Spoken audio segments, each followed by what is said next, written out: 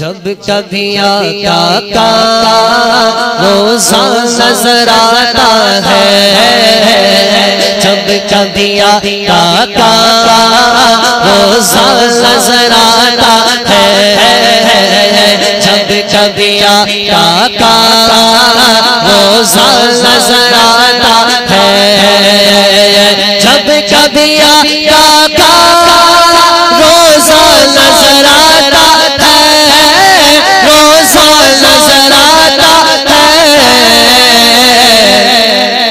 सच पूछो तो काबे का सच पूछो तो काबे का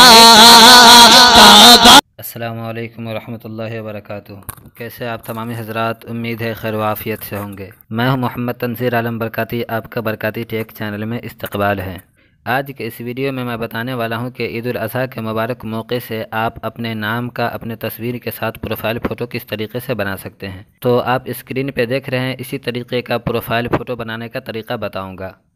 और ये प्रोफ़ाइल फ़ोटो बनाना बहुत ही ज़्यादा आसान है, इतना आसान कि कोई नया क्रिएटर भी इसको आसानी के साथ बना सकता है। तो चलिए वीडियो शुरू करते हैं। इससे पहले आप तमामी हजरात से गुजारिश है कि वीडियो अच्छी लगे तो वीडियो को लाइक कर दे और चैनल पर नए हैं तो चैनल को सब्सक्राइब कर दे और बेल आइकन को दबा दे ताकि जब भी मैं वीडियो भेजूँ, आप तक नोटिफिकेशन मिल जाए।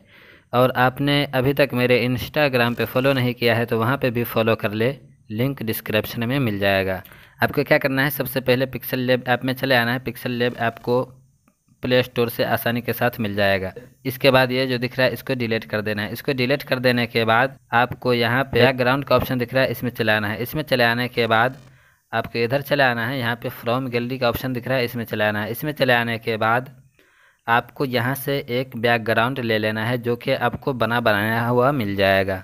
ये सारी चीज़ें जो भी मैं यहाँ से इस्तेमाल करूँगा लिंक डिस्क्रिप्शन में दे दिया जाएगा, आप डिस्क्रिप्शन से डाउनलोड कर सकते हैं। लेकिन इसको डाउनलोड करने के लिए आपके पास टेलीग्राम ऐप का होना ज़रूरी है, क्योंकि इस चीज़ों को मैं टेलीग्राम ऐप पे डालूँगा।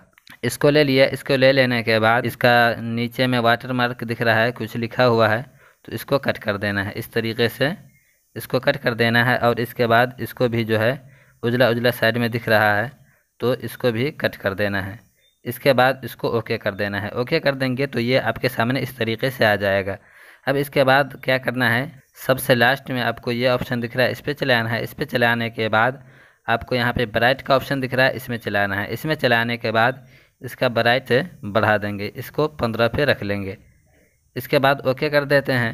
यहाँ पे कॉन्ट्रास्ट दिख रहा है, इसमें चले आना है और इस पर ओके कर देना है और इसको थोड़ा सा बढ़ा लेना है। इस तरीके से इसको पाँच पे रख लेना है।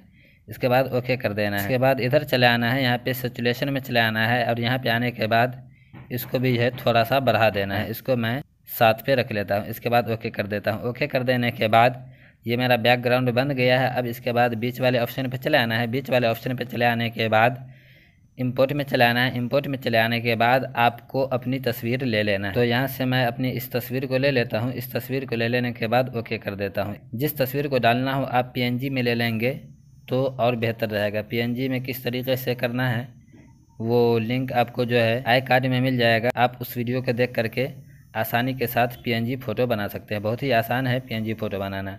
तो मेरा थोड़ा सा इस साइड में कटा हुआ है तो इसको इस तरीके से घुमा लेता हूँ। इसके बाद इसको यहाँ पे रख देता हूँ। यहाँ पे रख देने के बाद इधर चले आना है, इधर चले आने के बाद आपको कलर फ़िल्टर का ऑप्शन दिखेगा। इसमें चले आना है। इसमें चले आने के बाद इसका कॉन्ट्रास्ट बढ़ा देना है।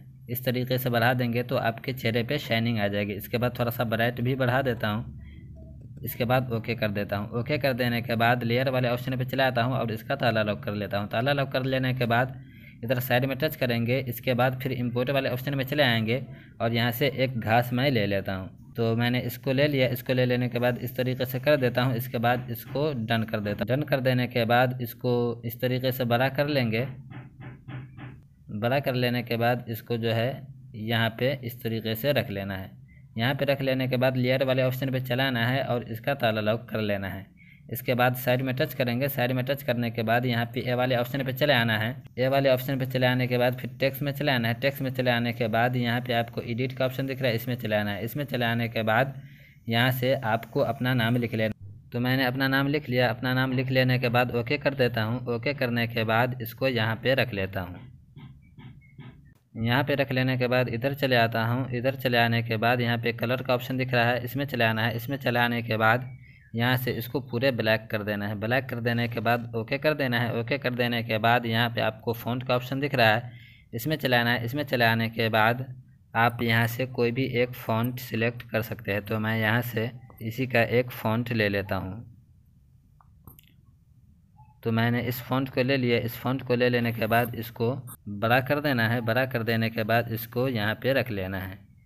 यहाँ पे रख लेने के बाद इधर चले आना है, इधर चले आने के बाद यहाँ पे आपको को स्ट्रोक का ऑप्शन दिख रहा है, इसमें चले आना है। इसमें चले आने के बाद इसको इनेबल कर देना है, इसके बाद इसका उजला वाला कर देना है, इसके बाद इसको ओके कर देना है। ओके कर देने के बाद यहाँ पे फिर आपको शेडो का ऑप्शन दिख रहा है, इसमें चले आना है। इसमें चलाने के बाद इसको इनेबल कर देना है, इसके बाद इसको भी उजला कर देना है और इसके बाद यहाँ पे इसको इनेबल कर देना है बाद इसको थोड़ा सा कम कर लेना है। कम कर देने के बाद इसको ओके कर देना है। ओके कर देने के बाद यहाँ पे आपको सेव का ऑप्शन दिख रहा है। इसमें चलाना है। इसमें चलाने के बाद सेव ए इमेज पे ओके कर देना है। सेव ए इमेज पे ओके कर देने के बाद यहाँ पे आपको शेयर का ऑप्शन दिख रहा है। इस पर ओके कर देना है। तो ये आपका प्रोफ़ाइल फ़ोटो बन कर करके सेव हो जाएगा। तो इस तरीके से आप बहुत ही आसानी के साथ ईद अज़हा के मौके से प्रोफ़ाइल फ़ोटो बना सकते हैं।